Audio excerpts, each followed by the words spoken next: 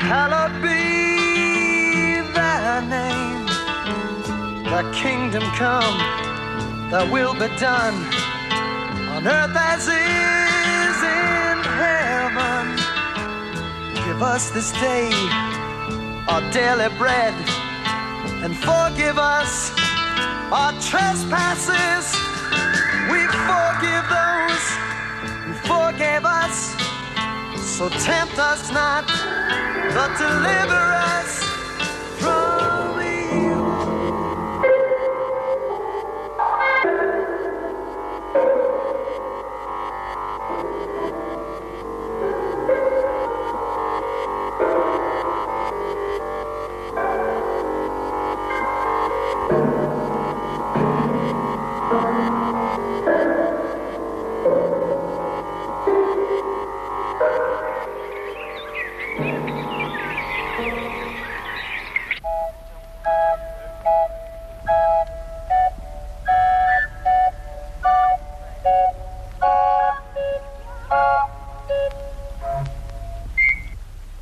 Zeg, die zand, kunnen die ook niet meenemen? Ja, maar dit, het, moet een topboom worden. Die moet gevuld worden.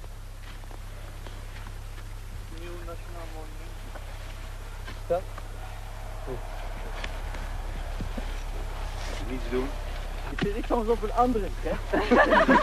Volgens mij staat deze op een betonnen voet. Is een kunstboom. Nou, ik krijg deze er ook niet uit. Dan mag ik helemaal Zullen we nog een kleine? Ja! Ja,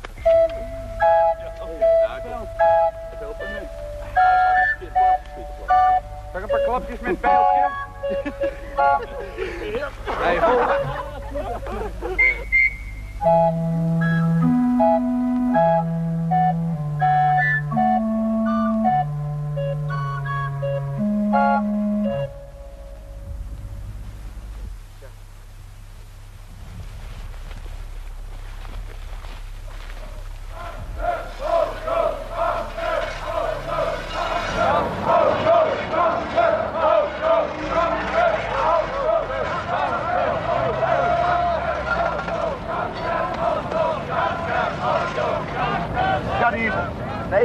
jongen, die is veel dieper, maar... Ah, die is weg. Nee, natuurlijk niet. Die gaat er toch niet in met die grote wortels? Oh, een beetje breder. Ja, zet maar nu. Ben hier nog gehad, hè? Nou ja, zo Zijn er heren die nog boven Herenboom!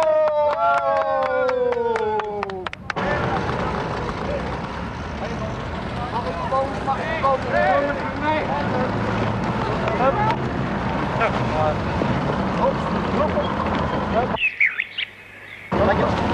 Dat is niet nodig, hè?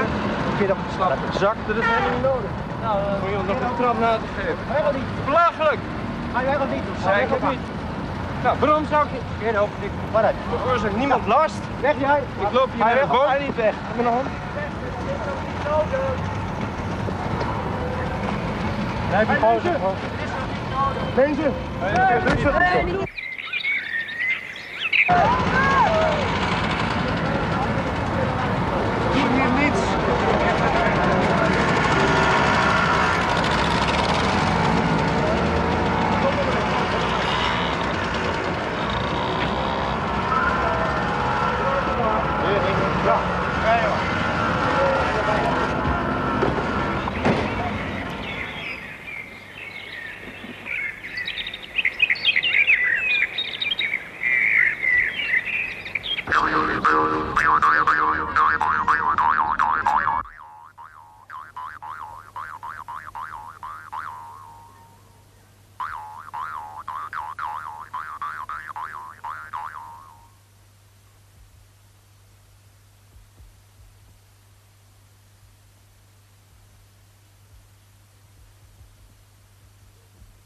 Punt 5 van de agenda.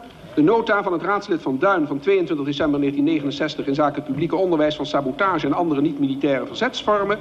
Het eh, woord is aan de heer Van Duin. Meneer de voorzitter, mijn eh, sabotagenota heeft veel verwarring gezaaid en is door veel mensen verkeerd begrepen. Ik wil er daarom nu een toelichting op geven. Mijn uitgangspunt is dat het huidige systeem van militaire verdediging een bron van ellende is. Omdat ondergeschiktheid de ziel van het militaire systeem is en het altijd een antidemocratisch effect heeft. Morele ellende, omdat het de soldaten leert op bevel mensen die vijanden worden genoemd in zo groot mogelijke getalen te doden en het de soldaten dus vervreemd van gevoelens van menselijkheid, redelijkheid, liefde en solidariteit. Gevoelens waar we het van moeten hebben. Financiële ellende, omdat alle regeringen van de wereld de hoogste post op hun gezamenlijke begroting aan dit rampzalige militarisme verspillen. Fysieke ellende tenslotte, omdat militaire legers elk jaar weer talloze mensen afslachten en dag in dag uit de hele wereldbevolking letterlijk naar het leven staan. Roel van Duin die, die, die heeft, staat heel anders tegenover het raadswerk dan laten we zeggen de meeste uh, mensen uit, uit nou ja, tussen aanhalingstekens burgerlijk milieu. Roel die staat er helemaal los van, die heeft verduiveld leuke, ludieke ideeën. En dan denkt men vaak dat hij dat, dat allemaal niet meent. Er zullen ook wel eens dingen bij zijn dat hij gewoon als, als een soort provocatie erin brengt. Maar ik dacht dat je door moest luisteren en de ondertoon van zijn beweegredenen, van zijn nota's die hij ingediend heeft. En die hebben zeer zeker wel een constructieve, laten we zeggen, grondslag. Centraal staat dus een mentaliteitsverandering, gepaard met een radicale democratisering van de maatschappij. We moeten van de onverantwoordelijke soldaat van vandaag naar de verantwoordelijke saboteur van morgen. Primair... Misschien is er toch wel iets goeds uit voortgekomen, omdat een aantal gemeenteraadsleden en wethouders werkelijk uh, woedend waren. En dat wil toch in elk geval zeggen dat ze toch gemerkt hebben dat er iets bijzonders aan de hand was. Ook in Nederland is, zoals we allemaal wel weten, het uh, niet-militaire verzet van het grootste belang geweest. De hulp aan de Joden, de uitgebreide illegale pers, de grote stakingen enzovoorts zijn niet alleen voor het verloop van de oorlog van invloed geweest, van veel groter invloed zijn zij uh, positief geweest voor het moreel van de Nederlanders en negatief voor het moreel van de Duitsers. Maar aan de andere kant hebben toch uh, geschiedenisboeken met duidelijk gemaakt dat er bij een aanzienlijk deel van ons volk een kleinburgerlijke mentaliteit geheerst moet hebben, die de mensen verleiden tot een zekere passiviteit, het vermijden van risico's, te veel waren de mensen doordrenkt van het idee dat het altijd wel verstandig en veilig is je niet tegen het gezag te verzetten. Als hij ooit van plan was iets in het verzet te doen, dan had hij er vanavond helemaal niet over moeten beginnen zelfs. U heeft zelf uh, in het verzet? Ja. Maar ik geloof niet dat het een heel ander verzet is waar Roel van Duin nee, uh, want het is juist een, een verzet geweest zonder strijd. Hè? Dus alleen maar met vreedzame middelen. En dat is precies wat Roel van Duin ook wil. En daarom heeft het mij wel aangesproken. Maar je had op een heel andere manier moeten brengen. Was het goed geweest? De Amsterdamse gemeenteraad is nu in staat een besluit te nemen... dat helaas uniek genoemd moet worden voor een overheidsapparaat de Amsterdammers voor te bereiden op niet-militair verzet tegen onderdrukking. Ook de bestaande. Want ook de gevestigde orde is, zij het dan in, ook in andere vormen dan een dictatuur, een onderdrukkende macht, omdat hij autoritair is en het militarisme in stand houdt. Amsterdam moet het initiatief nemen tot de vorming van een wijdverbreide internationale niet-militaire defensiegemeenschap in plaats van de NATO. Wat vond u van de sabotagenota? Nou, op zich een aardig stuk, maar niet voor de gemeenteraad geschikt. Hè? Waarom niet? Het is veel te landelijk en het is meer een, een denkstuk voor grote filosofen en denkers en zieners. Wie zit er niet in de gemeenteraad? Die zitten er wel in, ja. Maar niet als zodanig daar, hè? Voorlopig laat ik het hierbij. Dank u wel. Uh, de tragiek nu van, uh, van deze nota, die inderdaad erg veel uh, misverstanden oproept... wat natuurlijk in de eerste plaats dan aan de indiener zelf zou kunnen liggen. Het zijn mensen die in dit systeem geloven en niet meer in staat zijn zich voor te stellen dat je ook een andere wereld kan maken. En die dus alleen nog maar de mogelijkheid zien om in het bestaande systeem steeds hoger op te klimmen en woedend worden als iemand erop wijst dat het werkelijk anders kan. De beste werkwijze die men eh, met deze nota zou kunnen toepassen, het gevolg geven aan een van de, van de richtlijnen uit deze nota zelf, dat is uh, dat men de nota zou kunnen verkeerd nummeren, laten wegraken, verkeerd opbergen, dan wel vernietigen. Een uh, vage idealist Maar uh, een bijzonder intelligente jongen die goed kan improviseren in de raad. En die af en toe wel wat leven in de brouwerij brengt. Ik heb het, ik heb het verhaal gehoord van, van meneer Van Duin. Ik moet eerlijk zeggen, of het is een grote fantast... of hij is zoveel kabouter geworden dat hij volkomen wereldvreemd... in het leven en in de maatschappij stad. Het kan niet alleen een, eh, het kan niet alleen een grap zijn die, eh, die aan de hand eh, is. Dat willen wij wel zeggen. Je kan over het onderwerp oorlog, vrede, over de dreiging van een atoomoorlog... dat leent zich niet voor, voor grappen, ook niet ten bate van eigen publiciteit. Is meneer Walraven nog boven? Dat is best mogelijk. Het college heeft de discussie die aan deze nota is gewijd niet gezocht. We hebben vandaag hebben we een discussie waarvan men kan zeggen dat dat een onderwerp is dat onze hele westerse samenleving interesseert. En in elk geval een groot deel van de jeugd interesseert. Maar daarmee is niet gezegd dat het in de gemeenteraad van Amsterdam aan de orde gesteld behoort te worden. Wij hebben onze agenda eens in de 14 dagen die gewijd is aan de belangen van de Amsterdamse gemeenschap. Weet u ook of meneer Walraven nog boven is? Nou, hij staat op punt weg te gaan. Misschien is hij weg. Meneer Walraven, ik wilde u een vraag stellen. Nee, ik heb geen tijd. Het duurt maar heel kort. Een vredestaak van de dienst bescherming bevolking is onverenigbaar met de functies die de heer Van Duin aan deze dienst wil toekennen, omdat dat nou juist een oorlogstaak is. Het vreemde is dus dat ik al tien jaar bezig ben of zo om de mensen te waarschuwen tegen autoriteiten. En dat ik juist door dat te zeggen zelf een autoriteit ben geworden. Dat, daar verzet ik me dus steeds erg tegen. Wat vond u van de nood daarop vandaan? Nou, ik vind het een heel moeilijk geval. Waarom? Nou, daar laat ik me verder niet over uit. Nee, wat vond u de meest kenmerkende punten? Nee, Ach, Nu wel, Rafa. Daar heb ik mijn mening in de waarheid over gegeven. Kunt u lezen daar. Wilt u het niet voor televisie even doen? Meneer Walrapen. Een tweede bezwaar is dat de nota gericht is tegen de overheid. Ja, maar niet alleen tegen de vijandelijke overheid. Ook tegen de eigen overheid. En dat kan niet. Omdat de eigen overheid op medewerking en niet op de tegenwerking. En niet op de sabotage van medeburgers mag heen. Die zwarte is helemaal niet zo kwaad, joh. Die zit er rustig gewoon. Op zijn aquariumpje. Het is een poes die van ontzettend ver weg komt. Het is een zigeunerpoes. Dat weet je ook wel, dan moet je lief tegen zijn. een vreemdeling. Hem? Wat wij dus met proeven hebben gedaan, dat is dus door middel van uh, speldenprikken uitdelen de maatschappij te veranderen. door uh, happenings te organiseren en daar de politie zich over te laten kwaad maken terwijl er helemaal niets aan de hand was. Uh, er werden krenten uitgedeeld bijvoorbeeld.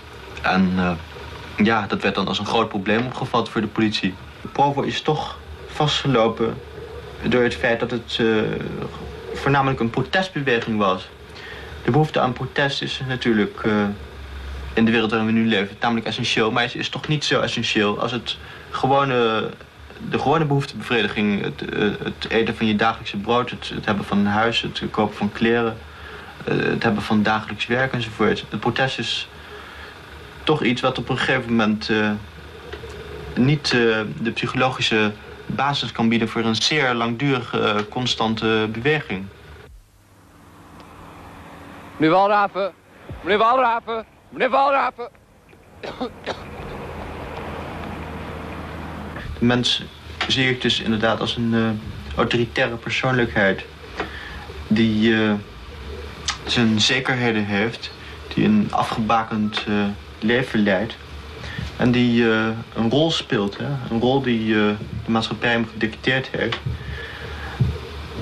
het is een mens die, ja, die idolen probeert na te volgen. Mensen die, uh, nou, die het volgens hem erg goed doen. Bijvoorbeeld uh, mensen zoals uh, Luns of zo. Of uh, of Mich Bouwman of Brigitte Bardot. En zijn eigen persoonlijkheid heeft hij eigenlijk overboord ge gegooid. zijn eigen zelf heeft hij verloren. Maar hij probeert dat op te vullen en toch uh, zijn rol aannemelijk te maken zich allerlei attributen aan te schaffen. Allerlei uh, waarmee uh, mensen kunnen zien, nou, je bent toch iets, hè? Je bent toch een, zij het dan een mindere blinkende vorm, je bent toch een kleine luns. Bijvoorbeeld doordat hij auto's koopt, of doordat hij televisies koopt, of doordat hij roomkloppers koopt, of doordat hij een wit overhemd draagt. En onze economie is ook inderdaad helemaal afgestemd op het uh, bevredigen van uh, die behoefte aan die attributen. Uh, onze economie die probeert het ook bijvoorbeeld voor te stellen alsof de vergeler de volksvijand nummer 1 is geworden. Hè? Mag ik u een vraag stellen? Jazeker, meneer. Wie bent u? Ik ben de vergeler, meneer. Ik maak alle overhemden geel. waarom, waarom maakt u alle overhemden geel? Omdat de mensen rillen bij de gedachte dat ze met een geel overhemd naar hun werk moeten, meneer. Gele overhemden, dat maakt hun onzeker. Dan hebben ze geen kans meer dat ze promotie maken, denken ze. Ah, ze voelen zich onveilig. En daarom hebben de wasmiddelenfabrikanten mij volksvijand nummer 1 verklaard. De mensen die moeten op deze manier steeds meer witmakers kopen, meneer. Steeds meer. Ja. Wat is het nut daarvan dan? Dat de mensen verslaafd raken aan witte overhemden. De mensen worden verplicht steeds weer nieuwe witmakers te kopen. En daardoor worden de wasmiddelenfabrikanten steeds en steeds maar rijker. De auto heeft dus ook uh, bijvoorbeeld in... in uh in de economie en in de planologie een zeer centrale functie gekregen. De auto begint de maat van alle dingen te worden.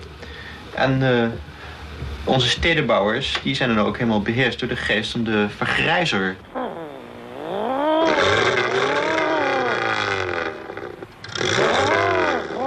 Wie bent u? Wie bent u? Ik ben de vergrijzer. Ik maak alle steden grijs. Waarom? Waarom? Omdat ik de geest ben van de moderne stedenplanners. houdt hij in? Wij hebben meer wegen nodig voor de auto's. Tweebaanswegen. Zesbaanswegen. En daarom moeten de huizen worden gesloopt en de bomen worden omgehakt. Is het niet economischer om, uh, om de, het uh, openbaar vervoer wat te verpopulariseren? En is het ook bovendien niet ruimte besparen? Het ruimtelijk vervoer? Het openbaar vervoer? het openbaar vervoer stoppen we in de grond. De metro. Auto's moeten we hebben. Ik dien alleen de belangen van de auto-industrie. Ja, maar uh, dan kunt u wel de gevolgen overzien. De gevolgen? Ja. Dat de straten veel stoffiger en vuiler worden. Noemen, dat de kinderen minder... Dat de kinderen niet meer op straat kunnen spelen. Dat de lucht vergiftigd wordt door uitlaatgassen. Dat de verkeerspolitie wordt uitgebreid. Dat de ziekenhuizen volgen met verkeersslachtoffers. Dat er huizen worden gesloopt om meer ruimte en meer wegen te krijgen. En de huizen ook in elkaar storten door het gedreun van de auto's. Laat me niet lachen, dat heb ik zo vaak gehoord. Daar heb ik geen belang bij. Ik heb alleen belang bij de auto-industrie. Dat de fabrikanten eraan verdienen, hoor. Zo is er dus een, een, een vicieuze cirkel ontstaan, geloof ik, tussen de autoritaire persoonlijkheid, de mensen als die uh, zich nu voordoet. En ik wil niet uh, dat we een bepaalde groep van mensen beperken, want ook ik leid eraan. Hè. Allemaal hebben we ermee te maken. En aan de andere kant is de economie die erop gericht is om uh, die, die fetishbehoeften van de mensen te bevredigen, zodat ze een rol kunnen spelen. En we gaan zo ver op dit moment dat we het bevredigen van dat soort behoeftes belangrijker vinden dan onze werkelijke primaire behoeftes. Bijvoorbeeld, we hebben behoefte aan uh, goed voedsel, we hebben behoefte aan, aan rust, aan stilte, aan goede huizen, aan uh, goede kleren enzovoort. Aan, aan schoon water. Maar wat gebeurt er? Doordat wij al die witmakers produceren, worden onze overhemden weliswaar wit, maar wordt het water volkomen verontreinigd. De vissen gaan dood doordat die uh, detergentia uit die wasmiddelen die alle huisvrouwen gebruiken in het water komen te zitten. En hele zeeën die zullen daardoor uh, uitsterven. Uh, wij worden dus inderdaad beheerst door het vrouwtje van Pichelmee. Wie bent u? Ik ben de vrouw van Pichelmee. En, mevrouw Pichelmee? ja, mevrouw Pichelmee. En ik uh, woonde vroeger in een uh, zo'n omgekeerde Keulse pot. Hè. En toen is mijn man, Pichelmee, hè, daar staat hij... die is het tovervisje tegengekomen. Die vervult al onze wensen. En, en nou zijn we rijk. Oh. Bent u nou ook tevreden? Nee, nee, helemaal niet, nee. Nee, burgemeester staat juist te vragen aan het overvisje... want ik wil een tweede kleurentelevisie hebben, hè, mijn slaapkamer, want dat is geen doen zo. En eh, dan moet hij morgen moet hij gaan vragen of hij eh, directeur kan worden van de bank. Want dan kunnen we hier al die duinen opkopen, hè. En dan willen wij er een eh, petrochemische industrie van maken met, eh met eh, olieraffinaderijen. En eh, auto's, hè. Er moeten veel meer auto's komen, hè. Ja, veel meer, want eh, het is gewoon te weinig, hè. En eh, een zeehondenbond wil ik ook hebben. Zeehondenbond, ja, ik hoop dat hij dat al... Betekent het nog niet dat het uh, visje op een gegeven moment er genoeg van heeft en eh, van uw wens en alles eh, weer terugneemt? Nee, nee, nee, nee, hoor, we zouden die groeit. Nee, dat is een enig visje hoor. Nee, die doet alles. Bovendien, we hebben het nodig. Ach, we hebben toch nodig, die automobielen en, en, en die atoombommen en, en, en die verdelgingsmiddelen. Nee, hoe, hoe zou we er zonder moeten?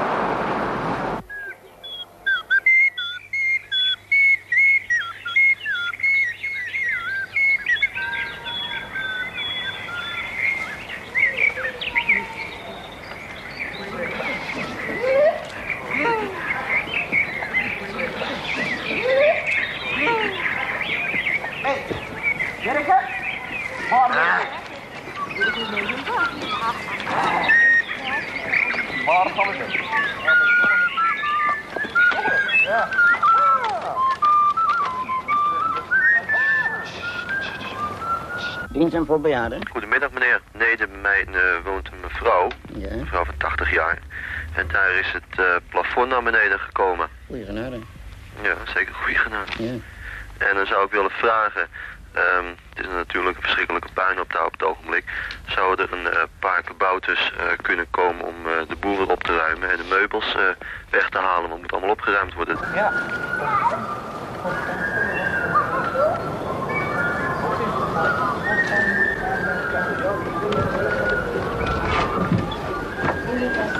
Dan wel. We zijn van de dienstencentrum voor bejaarden. Ja. We kwamen hier even, even opruimen. Ja, dat is eh, behoorlijk hè. Vanmiddag zeg ik tegen mijn schoonzuster, uh, er kraakt weer wat. En toen is ze weer een stuk naar beneden gekomen. Maar nu is ze op zichte de vanmiddag geweest. En die zegt, er komt nog meer naar beneden. Die meubels die moeten allemaal eh, boven? Naar boven. Een heleboel leeg. Ja. Alles is opgebeld. Mijn uh, magemens komt er. Wie heeft u allemaal gebeld? Ja, ik niet. Mijn schoonzuster vanmorgen. Oh, en Van uh, Bouw- en Woningtoezicht. En van de gemeente. En van de politie. En van de brandweer. Maar ze doen er allemaal niks aan.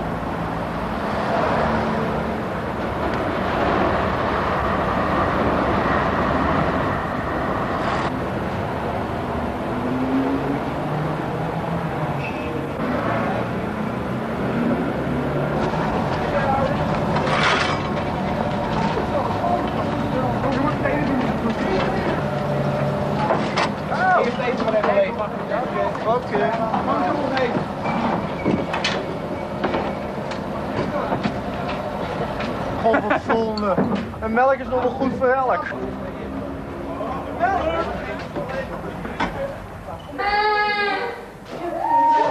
heldhaftig, vastberaden, barmhartig. Dat we geen geweld gaan plegen als zometeen de politie komt. Hè? Nee, natuurlijk niet. Ja? Toch niet? We gaan er dus pas uit als onze eis is ingewilligd. En wat is onze eis? Onze eis is dus woonruimte, hè? Of niet? Laten we wel in deze twee voorste panden blijven. Ik stel voor om een Want aan de achterkant hebben we dus ook nog panden. Hè? En die panden, nou ja, als we daarna daar mogen zitten, dan verliezen we helemaal het contact. Even met die moeders en kinderen, die hebben grotere ruimte nodig dan de mensen die hier alleen komen. Dan moeten we dat even... Dan moeten die moeders en die kinderen, die moeten dus nu opstaan en even hun kamer uitbezoeken. Ja? Ben je al boven geweest? Ja. Ben je? Ja, wel ja. Ik wil alleen maar weten of er weinig hier is. Hé, hey, hier zit veel soorten vliegmelen om. Ja. Ontzettend.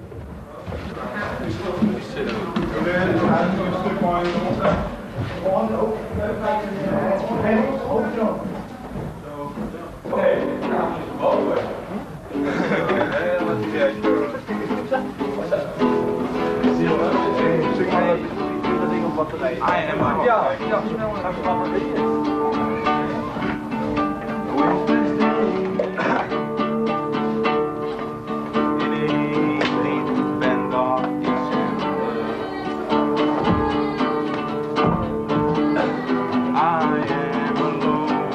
Dat is een heel andere zaak dan het toestaan van uh, inbeslagneming van woningen.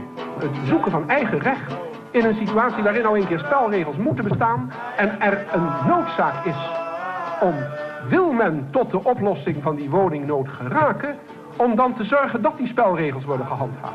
Het niet handhaven van de spelregels veroorzaakt niet in de eerste plaats chaos op het gebied van de openbare orde. Het veroorzaakt in de allereerste plaats chaos onder alle groepen die met die woningnood te maken hebben.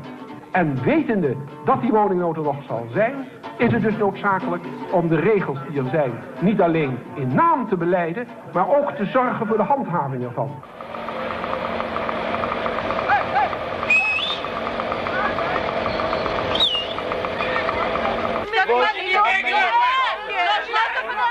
Loslaten. Nee, nee. Ze gaat niet mee. Ze gaat niet mee. Beetje op, mensen aan elkaar, die kant op.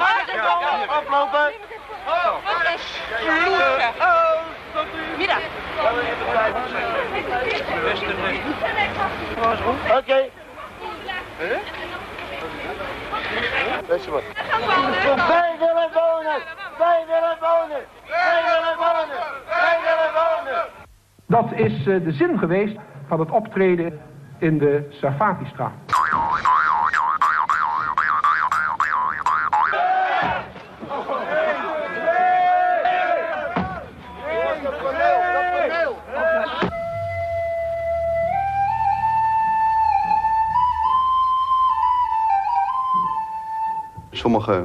Helemaal geen kamer, anderen hadden een ontzettend slechte kamer, duur betaald, uh, kleine ruimtes. Uh, toen hebben we dus laatste redmiddelen aangegrepen en hebben een pand gekraakt. Eerst zijn er twee mensen binnengekomen, toen is die groep van acht mensen binnengekomen. En nu zitten we hier met uh, 25 mensen. Je weet dat je er niet legaal zit en je zit elke dag eigenlijk te wachten op het moment dat er een antwoord van de gemeente komt.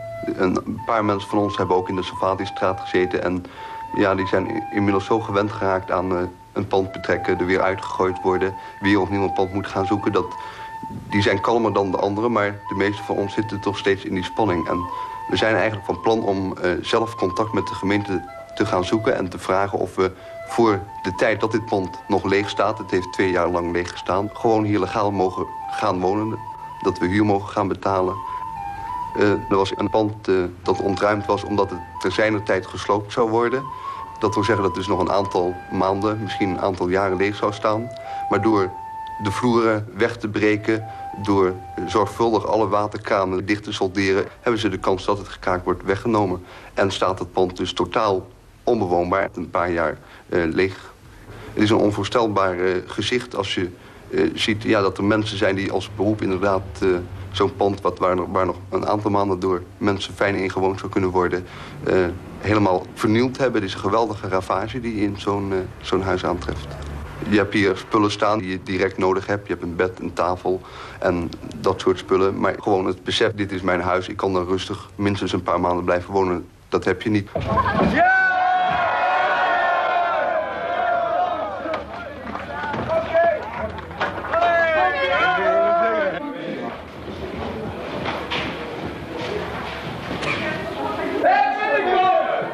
goed bewoonbaar, hè? Niet zo goed bewoonbaar dit. Ik kan ten aanzien van de alweer niet zeggen dat als daar niet gehandeld is overeenkomstig de spelregels, dat die spelregels ten aanzien van de steeg, dat die niet zullen worden gehandhaafd. Die toezegging zal de heer Van Duin van mij niet krijgen.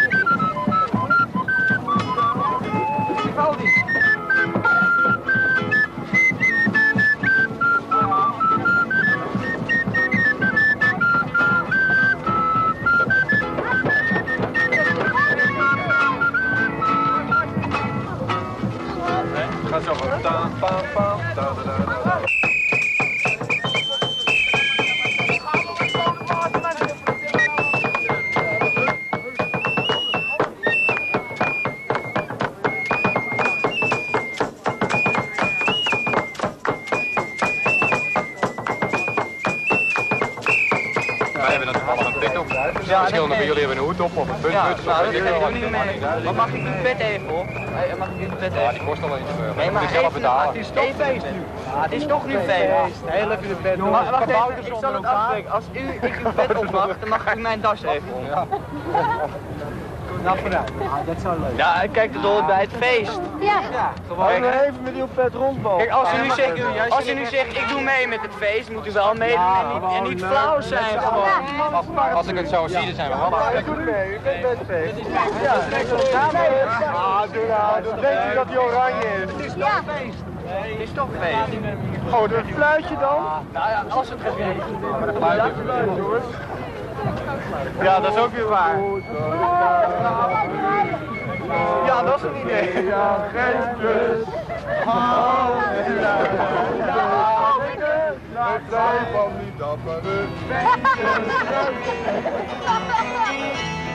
Thank